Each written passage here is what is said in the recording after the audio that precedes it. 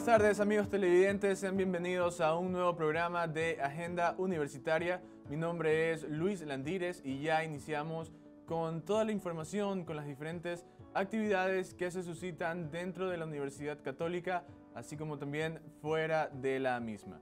El día de hoy y en este primer bloque vamos a tener como invitado al ingeniero Carlos Chon. Él nos va a hablar sobre una masterclass en introducción a la carrera de Ingeniería Civil. Así que vamos a presentarlo, ingeniero. Buenas tardes, ¿cómo le va? Muchísimas gracias, Luis. Muchísimas gracias a, a la televisión de la Universidad Católica y es un placer poder estar aquí y atender a cualquier consulta que ustedes deseen. Perfecto, ingeniero. Muchísimas gracias. Hablemos un, pro- un poquito acerca de esta masterclass. Bueno, la idea del masterclass es realmente tener un enfoque diferente a las tradicionales que han sido las clases rutinarias, no solamente por el nivel del profesor que se prepara para esto, sino también para tener una guía que pueda, haber, pueda desarrollar un paralelismo a la, a la educación tradicional. Perfecto, ingeniero. ¿Qué tipo de eh, contenido se va a poder eh, disfrutar dentro de esta masterclass? Bueno, los contenidos son dinámicos. A medida que el tiempo pasa, las carreras van moviéndose con mucha, eh, mucha aceleración. Eh, en particular la carrera que se refiere a sistemas computacionales. En el caso de ingeniería civil son un poco más tradicionales y se mantienen su esquema. Sin embargo, hay que estar a tono con la modernidad. Por ejemplo, hay muchas tareas que se desarrollan a eso eh, actualmente en base a la computadora usando programas y software desarrollados que lo habilitan ustedes no solamente a ir más rápido, sino más preciso.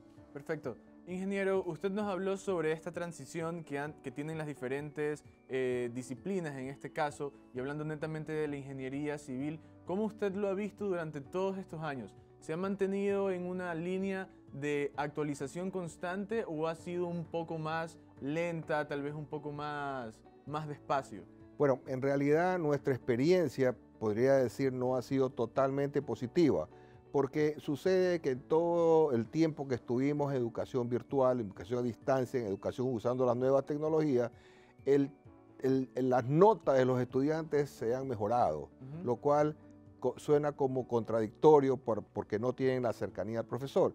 Sin embargo, a medida que hemos ido ganando más experiencia, hemos ido colocando los controles donde se van ajustando las cosas y eventualmente esperamos tener una nivelación en la educación virtual como en la educación presencial. Siempre va a haber algunas materias que necesitan la parte tutorial directa del profesor y en ese caso es necesario acudir a la parte presencial.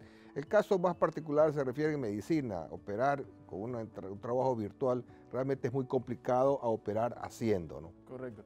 Me imagino que también en la ingeniería civil el tema de la tecnología y el hecho de hacerlo virtual no le favorece mucho al estudiante, sino como usted lo ha dicho, el trabajo de campo es a lo que se apunta y donde se gana más experiencia. ¿Es Bueno, correcto? Sí, hay materias que usted las puede dar perfectamente virtual sin ningún problema. Sin embargo, otras materias de aplicación práctica que necesita presencialidad. Ahora, eh, como estábamos viendo, hay muchísimas ayudas naturales desarrolladas en la televisión o en la computación o a través del sistema donde usted tiene un acercamiento que antes no lo tenía. Antes tenía que acudir a la biblioteca, investigar, sacar muchos textos. Ahora, aplastar un botón, hacer un clic, usted tiene muchísima información que lo hace andar mucho más rápido y no tiene necesariamente que aprender cada una de estas cosas, sino tener la habilidad de manejar la información. Perfecto. Ingeniero, eh, retomando el tema de su experticia y todos los años que ya tiene en este campo, los estudiantes que vayan a entrar a la masterclass, eh, ¿cuáles son los puntos, tal vez débiles de ellos, en los que vayan a hacer hincapié y puedan potenciar ese, ese, ese, ese momento tan especial con los alumnos? Fíjense que su pregunta es muy interesante, ¿no?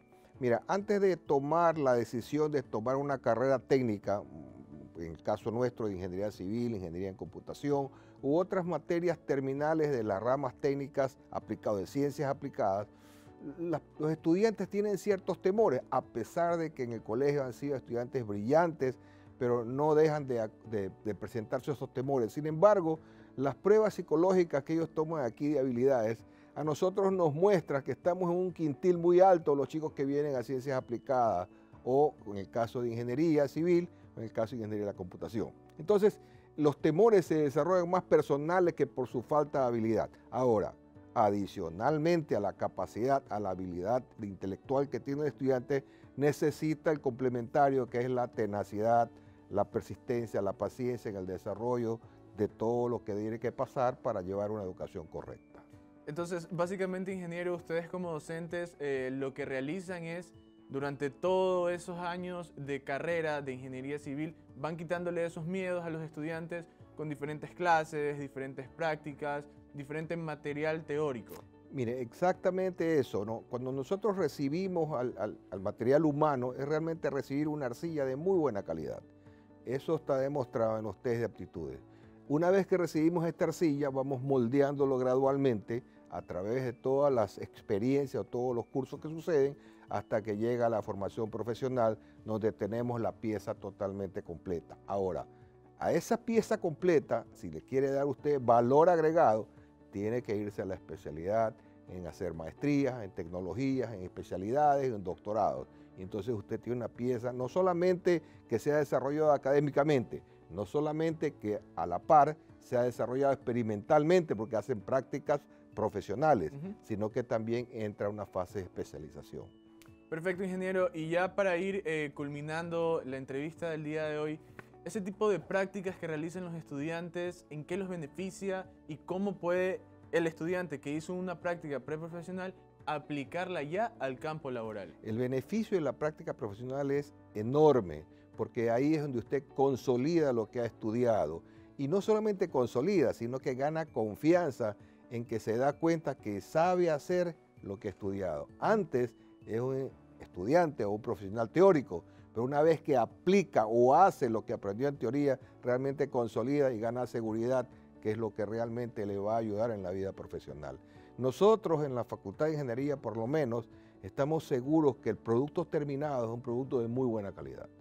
Ese producto de buena calidad se refleja en todos los estudiantes nuestros que se van a estudiar al exterior y no solamente allá son buenos alumnos, son los mejores alumnos. Y además ese producto terminado en toda la sociedad nos ha demostrado que está cumpliendo su rol en el que lo formamos. Son excelentes ejemplos de profesionales en la vida práctica.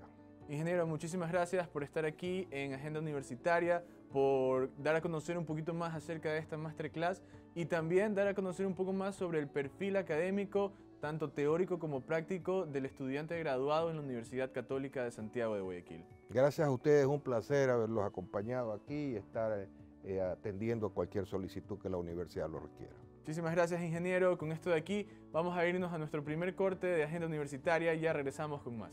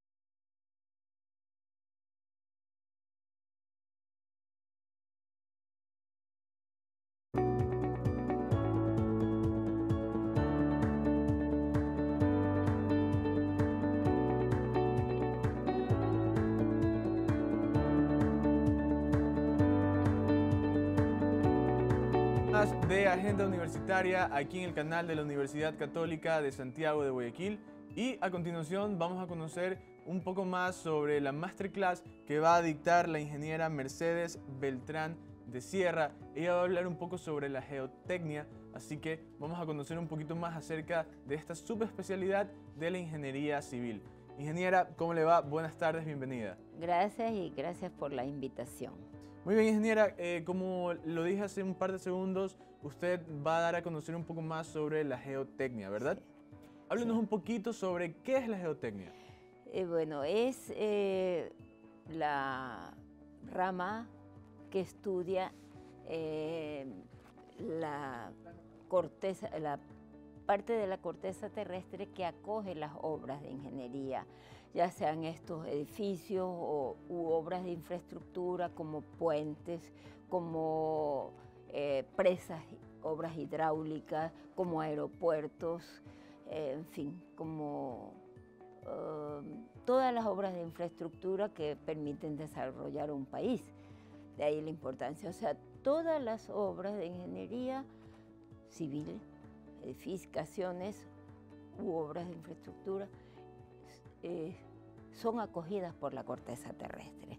Entonces, estudiar eh, sus características físicas, su comportamiento es muy importante porque todo, excepto las estaciones espaciales, todo está sobre esa corteza terrestre, incluyendo, por ejemplo, las, eh, las estaciones offshore con que se ah, trabajaba, sobre todo hace los últimos 20 años, eh, para extraer petróleo. Aún esas a grandes profundidades, pero su carga era transmitida al fondo del mar. O sea, todo está sobre la corteza terrestre. De ahí su importancia. Perfecto, ingeniera. Entonces, básicamente podemos definir a la geotecnia como el estudio del suelo en donde se va a realizar. Suelo y roca. Sí. Perfecto. Suelo y roca. Perfecto, ingeniera. Eh, otra consulta, los estudiantes que se inscriban a su masterclass, ¿qué tipo de contenido van a poder disfrutar en ella? Bueno, em, explicar como estábamos platicando hace unos segundos, de qué se trata, explicar también que es un material que difiere de otros. Por ejemplo, si vamos a construir un edificio o un puente de estructura metálica, sabemos a qué le tiramos. O sea, conocemos perfectamente el comportamiento de ese material. en el suelo yo lo llamo una cajita de sorpresa, suelo o roca, porque puede ser un suelo de muy buen comportamiento o un suelo blando. Como el suelo de Guayaquil, por ejemplo. Claro, que es pantanoso, ¿verdad? Pantanoso, sí, por su origen. todo tiene que ver con su génesis, con el origen de eso. Y lo mismo en el caso de las rocas, si está muy sana o si está fracturada o si está intemperizado, ya alterado sus características químicas y por tanto también su comportamiento. Entonces, eh, ese material nos causa problemas en ocasiones porque esperamos encontrar algo y pues no está tan bueno como lo creíamos en su comportamiento físico. Y así también la forma de estudiarlo, porque muchas veces tenemos que estudiarlo a base de aproximaciones o a base de modelos físicos en los laboratorios existentes en las universidades o en las empresas, o acercándonos a su comportamiento mediante el modelo matemático, o sea, las eh, fórmulas teóricas, etc.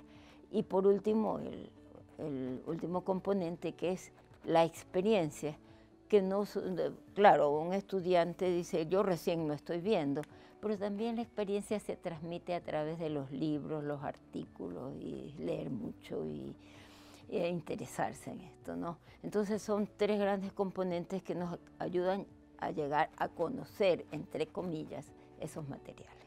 Perfecto, ingeniera. Y dentro de su experticia, ya muchísimos años, usted siendo ingeniera civil, eh, ¿cómo ha visto que los estudiantes los estudiantes van eh, concientizando acerca de esta materia. Sabemos que es algo muy importante porque, por ejemplo, si construimos en, sobre arena de playa, debe de haber algún tipo de comportamiento especial. ¿Es verdad? ¿Cómo los estudiantes han recibido esto de aquí?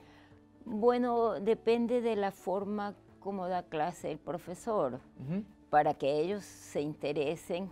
Em, hay los modelos físicos con los que se los entusiasma, ¿no? Vamos a, hacer un modelo que eh, represente, que a través de vidrio veamos cómo está comportándose ese suelo cuando le pongo la carga del edificio, por decir algo, etcétera. Hay muchas metodologías que los ayudan y llamarles la atención hacia esto que por lo que se comenzó no, no tan temprano como otras subespecialidades de la ingeniería, a partir de 1920 por allí.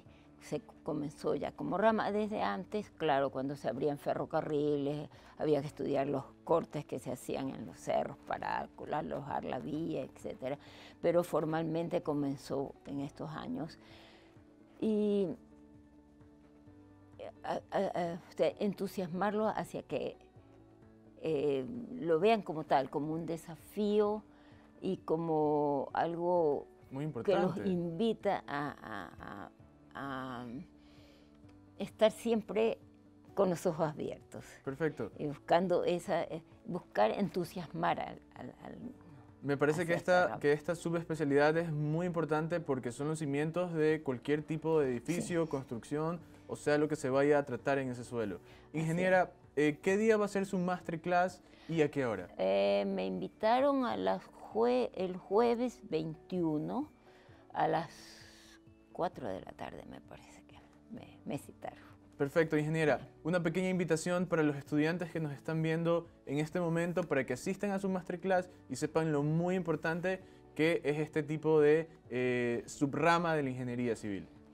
Pues trataremos de despertar la curiosidad del estudiante y los jóvenes siempre les gustan los desafíos y este es un desafío y que es una rama que el país la necesita porque eh, hay mucho por hacer en obras de infraestructura y porque hay poblaciones que no escogieron a dónde desarrollarse, sino que las establecieron allí y al ir creciendo, también las obras, los edificios que se realizan mm, van constituyendo un verdadero desafío. ¿no? Nosotros tenemos, estamos Guayaquil sobre un suelo blando y sin embargo estamos viendo todo lo que se está desarrollando, todo lo que se ha desarrollado en el pasado y todo lo que se está desarrollando ahora en Puerto Santana, etcétera, que está al pie del río, donde son suelos muy jóvenes. Perfecto. Ingeniera, muchísimas gracias por estar aquí el día de hoy en Agenda Universitaria. Para mí ha sido un placer conocer un poco más sobre su trabajo y la masterclass que va a dar a los diferentes estudiantes. Una vez más, gracias por la invitación. Siempre eh, para colaborar no hay tiempo. Yo soy una persona mayor, pero todavía me gusta pues colaborar y, y transmitirle el entusiasmo que me transmitieron en su momento mis profesores y por la que escogí una rama que en ese momento aquí era bastante nueva, aquí en el ambiente de la ciudad. Perfecto, ingeniera, muchísimas gracias. Con esto de aquí, chicos, nos vamos a un pequeño corte en Agenda Universitaria, pero no se despeguen porque aún nos queda un bloque más. Ya volvemos.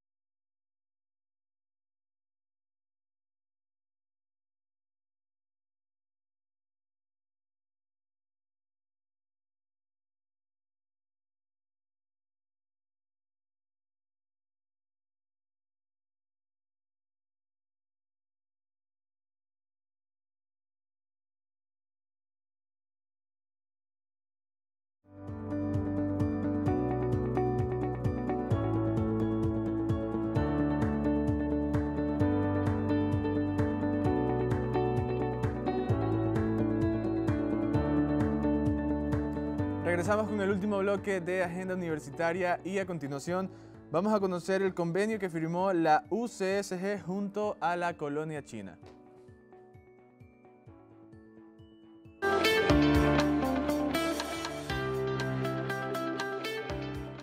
La UCSG realizó la firma de convenio con la Cámara de Comercio de la Colonia China en medio de alegorías y presentaciones culturales por parte de estudiantes de la unidad educativa Xiaomiao Weihua. La base de este acuerdo trata de compaginar nuevos pensums académicos e intercambios educativos entre la cultura china y ecuatoriana.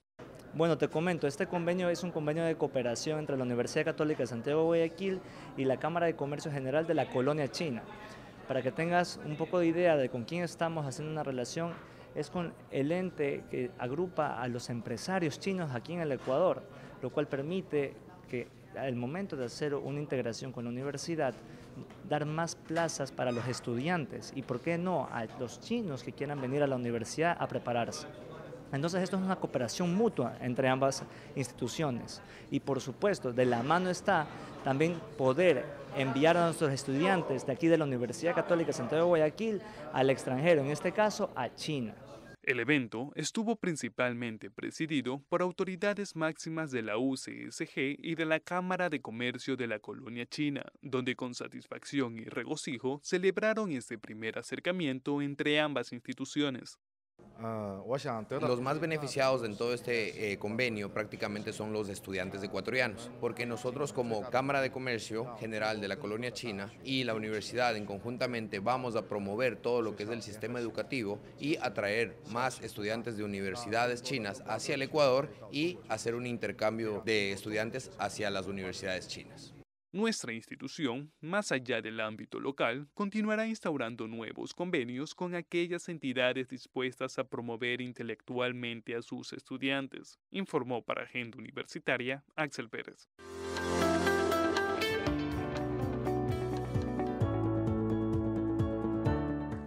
Estos son los convenios que se firman dentro de la Universidad Católica para, eh, para que los estudiantes que sean parte de esta prestigiosa universidad puedan ampliar sus horizontes tanto de conocimiento como de experiencia laboral. A continuación, también la carrera de agropecuaria lanza el concurso intercolegial de huertos educativos por segunda ocasión. Veamos.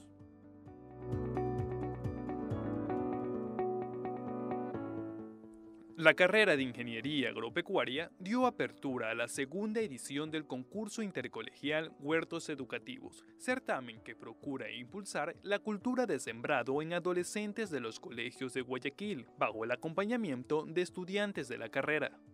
Este es un proyecto de vinculación que le permite a los estudiantes poner en práctica sus conocimientos adquiridos durante el proceso formativo en beneficio de comunidades en la medida en que los alientan a buenas prácticas. En esta segunda edición se pretenderá incluir a más de 200 colegios en el programa de cultivación de huertos mediante tres fases obligatorias de inserción en el que se plantarán desde los alimentos más básicos hasta plantas medicinales y tratar de cambiar ese chip en las personas eh, de que podemos realizar eh, diferentes, diferentes tipos de proyectos con esta finalidad.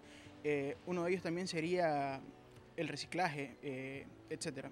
La UCSG, en base a procesos de cultivo, busca incentivar desde temprana edad la cultura ambiental, informó para Agenda Universitaria Axel Pérez.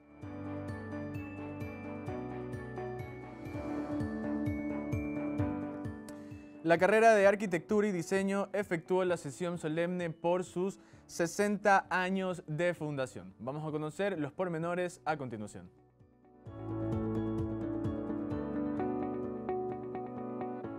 La Universidad Católica de Santiago de Guayaquil realizó la sesión solemne en conmemoración del sexagésimo aniversario de la carrera de arquitectura. Durante estos 60 años, nos hemos graduado en la carrera 1.518 arquitectos, con una sólida formación que a muchos les ha permitido destacar en el desarrollo de su profesión, ocupando importantes cargos dirigenciales dentro y fuera del país. En junio de 1962 nace la Escuela de Arquitectura, la misma que estaba adscrita a la Facultad de Ciencias Físicas y Matemáticas. Dos años más tarde se crea la actual Facultad de Arquitectura y Diseño. La UCSG, dentro de la carrera de arquitectura, ofrece como campos de acción a los futuros graduados el desempeño en diseños arquitectónicos, diseño urbano, planificación territorial, entre otros. De los 31 profesores que actualmente trabajamos dando clases en la carrera, el 26% cuenta ya con doctorado y el 42% lo está cursando en universidades extranjeras de gran prestigio. La UCSG instruye a sus alumnos que cursan la carrera de arquitectura a diseñar, dirigir, asesorar y ejecutar proyectos de diseño urbano como los principales roles a desarrollar en escenarios laborales reales. Para Agenda Universitaria, Jordi Salvador.